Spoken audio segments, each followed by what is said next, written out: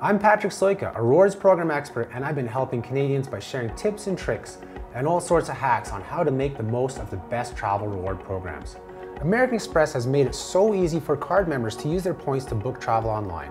I'm going to show you exactly how to get the most bang for your points.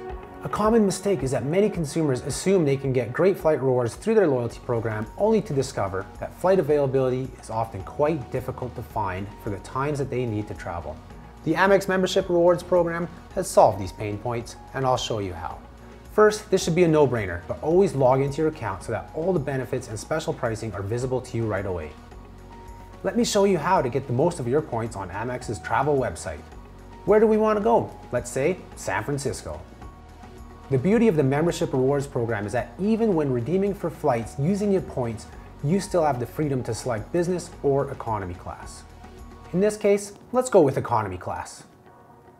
Once you have your search results, you're not restricted here to just one option or flights with stopovers. You can actually use your points for any airline, any flight, and direct flights too, which is a major advantage with this program. Note, this fixed point redemption option here will be grayed out if you don't have enough points to cover your entire itinerary. Now you can select which airline you want to fly with. Once you've got your flight selected, this is where you can really reap the most value out of your points. So be careful you select the right options at this crucial stage. This is where Amex gives you two options to use your membership rewards points to pay for your flights. They offer flights for fixed points amounts, or you can redeem your points in a flex fashion. Now, assuming you do have enough points, toggle between the fixed and flex point options up here. See, the amounts below will change. You can then choose which option gets you the better bang for your points. This program really does put you in control. As you can see, with the fixed point option, you get to save points because if you were to go with flex, this is how many points you would need, which is a lot more.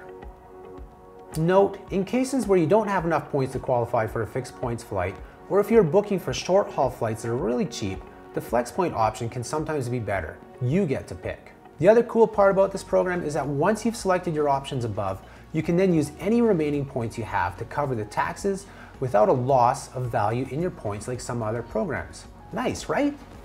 During the checkout process, this handy tool allows you to adjust exactly how many extra points you want to use to cover the taxes and any other fees. If you have enough points, it will by default apply your points to cover all taxes and fees. Finally, since the ticket you're buying from American Express Travel is a true revenue ticket, in many cases you'll be able to collect frequent flyer miles or points on that flight, even if you paid for the whole thing with membership rewards points. So that's it. I have done quite a bit of research and gone through many different reward programs. The ability to book using fixed points with Amex is truly rewarding and takes away many of the pain points of booking flights on points. To learn more, visit travel.americanexpress.ca.